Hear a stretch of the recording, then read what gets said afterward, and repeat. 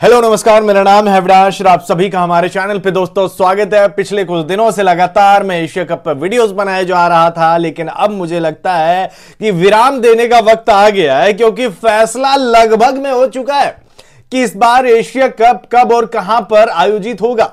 आपको बता दें कि नजम सेठी ने कुछ दिन पहले ही भारतीय चैनलों को उन्होंने काफ़ी ज़्यादा इंटरव्यूज़ दिए थे और सब कहने लगे कि भैया, ये एसीसी से बात नहीं कर रहा है जय शाह से बात नहीं कर रहा है न्यूज़ चैनलों पे आके बयानबाजी कर रहा है, इससे थोड़ी हल कुछ निकलेगा, लेकिन इससे सॉल्यूशन निकला है और बहुत बड़ा सॉल्यूशन निकला है। आपको बता दें कि न्यूज़ चैनलों पे इंटरव्यू देने से पहले नजम सेठी यूएई गए थे। वहाँ पे एसीसी के प्रेसिडेंट से तो मुलाकात नहीं हुई, जो कि जैसा है। वहाँ के एसीसी के वाइस प्रेसिडेंट से मुलाकात हुई, जिनका नाम पंकज किम जी कुछ ऐसे करके है, उनका नाम। उनसे बातचीत हुई तो बातचीत का कुछ हल नहीं निकला, समस्या नहीं निकला। इसके बाद वार्निंग दे दिया। नजम सेठी ने कहा, भैया, अगर आप जो है, न्यूट्रल वेन्यू पे आप चाहते कि पूरा का पूरा एशिया कप करवाएँगे तो ये तो बिल्कुल कतई नहीं होने वाला तब तो पाकिस्तान नहीं खेलेगा। आप हमसे होस्टिंग राइट छीनेंगे और आप चाहेंगे कि पाकिस्तान में एशिया कप नहीं हो, ऐसा मैं होने नहीं दूँगा।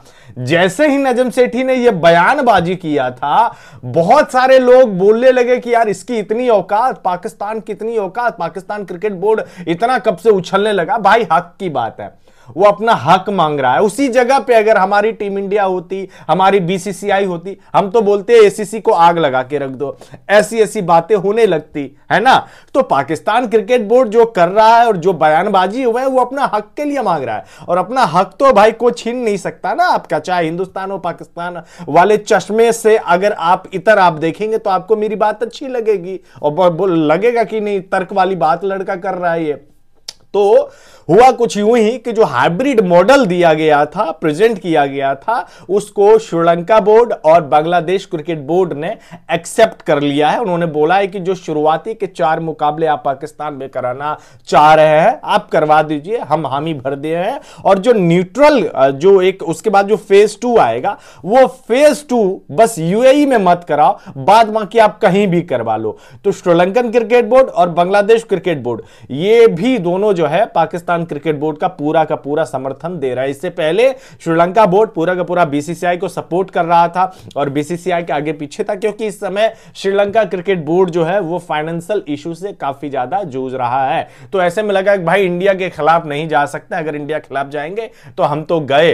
लेकिन थोड़ा सा ना बैकबोन मतलब रीढ़ की हड्डी है, श्रीलंका बोर्ड में भी। उन्होंने भी खिलाफ जाके इन्होंने बोला है कि देखिए, इनका जो मांग है वो जायज़ है। ये जायज़ मांग कर रहा है अपना, ऐसा नहीं है कि रंगदारी कर रहा हो या फिर दादागिरी दिखा रहा हो सही जायज़ इनके मांग है। तो अब ये खबर आ रही है कि जो न्यूट्रल, जो वेन्यू खोजा जा रहा है, वो हो सकता है इंग्लैंड। ये खुद नजम सेठी ने कहा है। उन्होंने बोला है, देखिए, हमारे पास ऑप्शन बहुत है।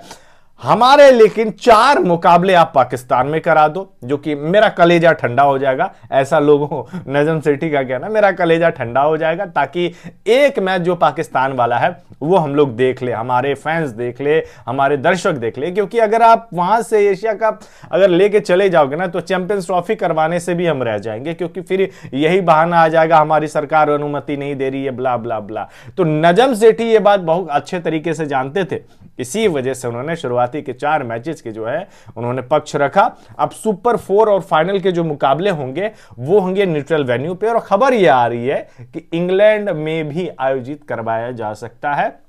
श्रीलंका में नहीं, यूएई में नहीं, इंग्लैंड एक ऑप्शन के तौर पे देखा जा रहा है।